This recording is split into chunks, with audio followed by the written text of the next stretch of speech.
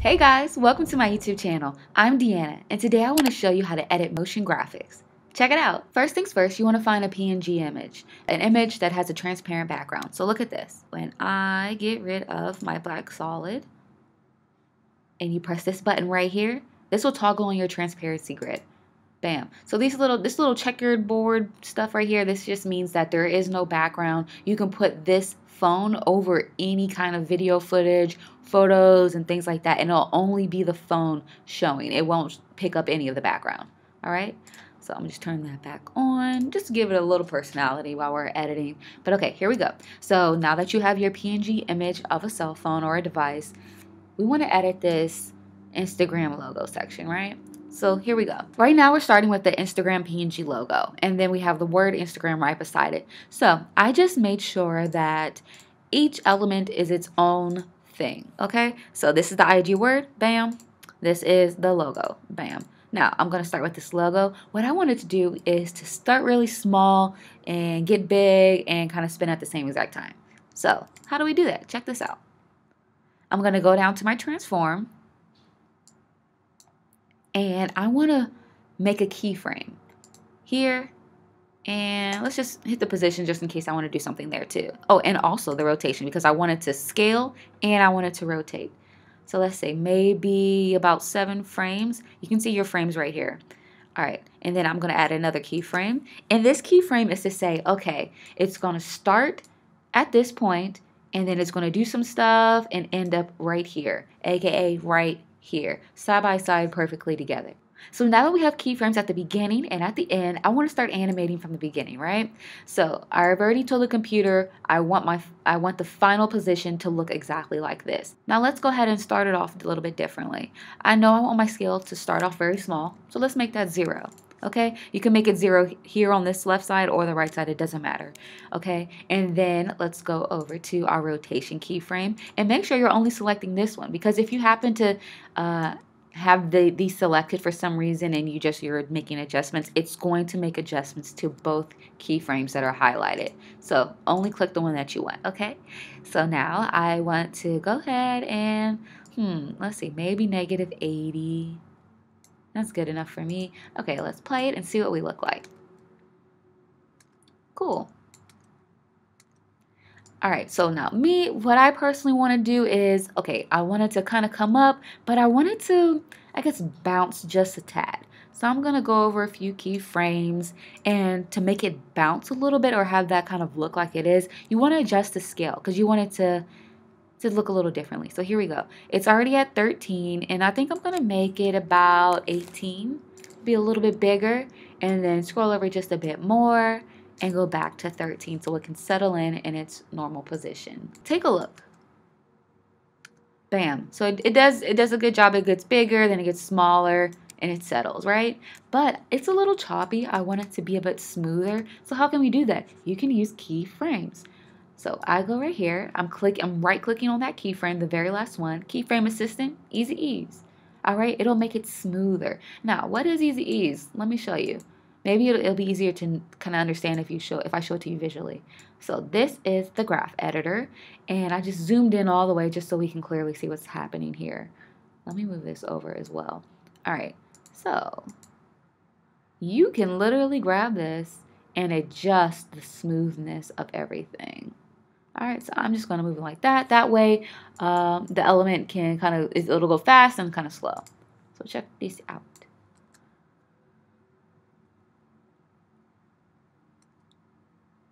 All right, so I'm noticing that my keyframes are a bit too close together, so I want to make an adjustment. That's fine. All right, let's move on. Let's keep this thing rolling. Let's go fast. Oh wait, one little thing. I want to put an easy ease on my rotation. I like to easy ease everything really. All right, so everything looks good. Now let's go ahead and animate the Instagram part. How do we do that? All right, now here's the key thing. I want to use these things called mattes. They're kind of like a mask. They kind of hide certain things you don't want to see and reveal other things. So in order to use a matte, you want to make sure you're not clicked on anything, okay? Like click on this bland gray area here. Okay, and then go over to this rectangle tool. And I'm to make a mask, a matte. All right, so I am just covering up that Instagram thing. I want to rename it just so nothing gets tricky. Call it a matte. All right, and then I'm to bring that matte right above my logo. All right, and then now I want to make sure that we can see the logo. No one wants this ugly black box. So go to your track matte. Now, if you don't see that, you can hit this toggle and switches mode and it'll bring up more information if you don't have it. And if, if you're still not seeing certain things, you can right click and go to columns and then select whatever you actually need. So let's go to track matte. I want to put it alpha matte and bam, you can see it. All right. Now, I want to make this Instagram word kind of slide out from the right of this logo right here. So how do we do that? Let's go. I want another matte. So I'm going to copy, hitting Command C, Command V, and just dragging it right above the actual word, right? So now we've got this matte, and I want this word to um, be alpha inverted matte, okay? And then I'm going to take this word, and I'm going to adjust the position so that way it slides from left to right. Here we go. And I also want to make sure I go to the keyframe where this stops. All right, and I'm noticing that my matte is not big enough. See right here, the logo's getting cut off. All you have to do is just make the matte like right here. That's fine. Okay. Perfect. Now, okay, now back to business. We're trying to animate this Instagram word. So I want my word, I want to move it from left to right. So what do we do? You need to make another keyframe. We're going to use position because we're just moving the position. That's all we're altering. Okay, I'm making a key point right there because that's where this stops going from small to big. And then just scroll over a bit and I'm, I'm saying like, okay, right here, that's where this movement is going to stop. So I already know where I want my thing to end. Let's see where we want it to begin. Okay, I'm clicking on my keyframe. I'm to move this over to the left. And you see it's disappearing. The only reason it's disappearing is because we made those mattes, okay? So we're seeing a little bit of the word right here. So we need to adjust the matte that's right here, okay? We're to move this over right here. So now it's covered because this matte is hiding whatever is under it, okay? And it reveals whatever is not, whatever it's not on. All right, so let's check out what we have. Okay, so you notice it's way too fast. So I'm to go over to my keyframes and just move it around a bit. Okay? And let's see what we have now. Perfect. Okay? Now, you may look at this and say, hmm, it's not, not perfect. So let me adjust this matte right there. Okay? I like that. All right, so now I like again, it's it's it stops too abrupt. So we're gonna go to this keyframe and we're gonna make it go easy ease. Easy ease. And then I like to click on it and then click on the graph because I want to further tweak it, make it even smoother. Because you see it it kind of starts up fast and gonna go slow. Okay, but we want it to really, really slow down when it lands. So let's let's check it out. I love that.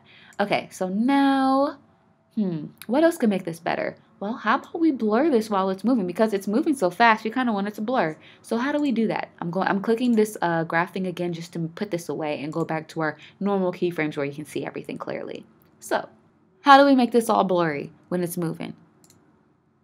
Hit this toggle and switch button, and you'll notice right here it's called motion blur click that on. And then you also want to make sure it's on right here. If this is off and this is on, it's not going to show anything and vice versa. If that's off and this is on, nothing different is going to happen. So keep in mind you need both to be on.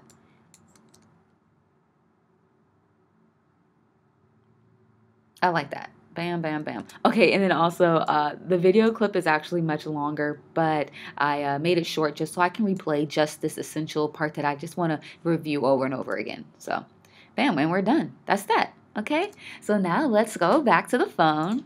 Okay, so check it out. Looks perfect. All right, so now I want to animate my profile image, okay? So the first step is to find an image that you want to use as your profile picture. I have mine right here. All I do is just drag it to my timeline It's quite big because it's from a professional camera, so it's large. Um, I only want kind of like my head and maybe a little bit of the chest area here. The image starts as a rectangle. We want it to be a circle. How do we do that? Make sure you're selecting whatever you're trying to make into a circle. Go right here. If you hold down, it'll show you some other different options here. I'm going to use the ellipse tool. I want a perfect circle, so I'm going to hold down the shift button and then drag. All right, there we go. I'm hitting V to get rid of that uh, tool. Okay, so now that we have our circle there, uh, I want to make sure that I'm centered. So I am going to make sure I double click on the mask. Okay. That box will appear and then you can kind of drag it to the area that you actually like. That's cool. Okay. And then now I clicked out of that and now I can drag the whole thing over. Bam. Perfect. Okay, so now I also want a white outline around that. Okay, let's do it. I want to click out of everything and I want to make a new solid. So let's do a solid. I want it to be a white line outside of it. Okay, and then I want to grab my tool once more and I want to hide this that way I can make my circle the way it should be. So just imagine that it's there because you're still making the mask on this because you're clicked on it, but I just want it to be away so that way I can actually see what I'm doing. So I'm going to hold down the shift button and make a perfect circle. All right.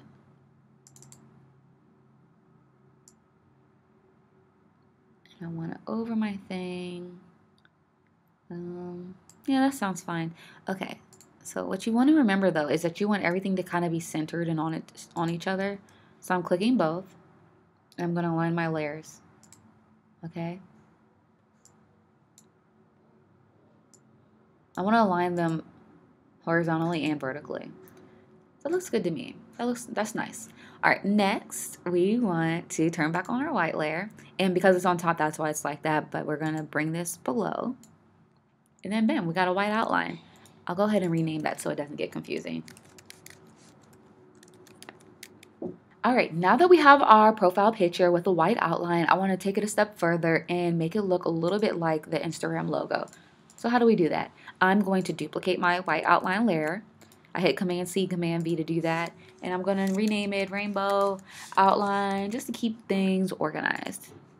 All right, so now we got this rainbow outline. I only want to look at it so I'm going to hit this circle button right here. And this will only show the element that you have the circle on, okay?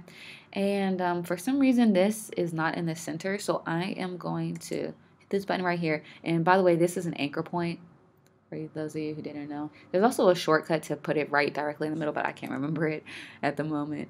But okay, so we've got this. We want to make it into a kind of a gradient. So search your effects and presets. If you don't see it there, go down to your window and then just make sure it's checked. Okay, let's search, search gradient.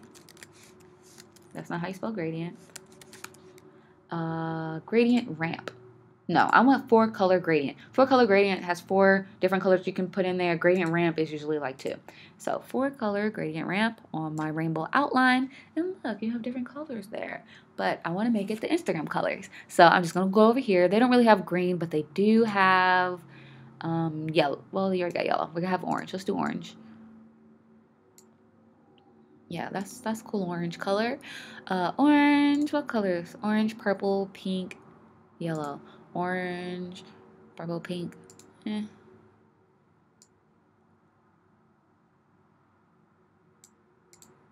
Pink. Uh, I think it was purple.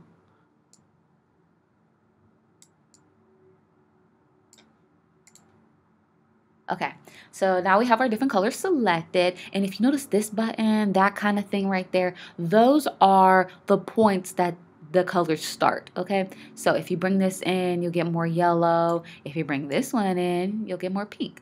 All right, so that's really cute. Uh, I'm zooming out because I have these other ones over here on the side, and I'm just gonna bring this in closer as well. I like that. We're looking good. I feel like this orange is not different enough. So let me see. Yeah, that helps. Okay, cool. So now that our rainbow outline is done, look at that. It's so cute. I love it. It's so cute, cute, cute. All right, so that outline looks really cute. It reminds me of the Instagram logo. Uh, now I want to uh, make sure that we can see our white stroke line that was there. I'm going to put the rainbow behind the white. That way I can just see everything better. And let's go. I want to double click on it and hold down shift so I can still have a perfect circle. Okay, and let's see here. Let's move it over a bit.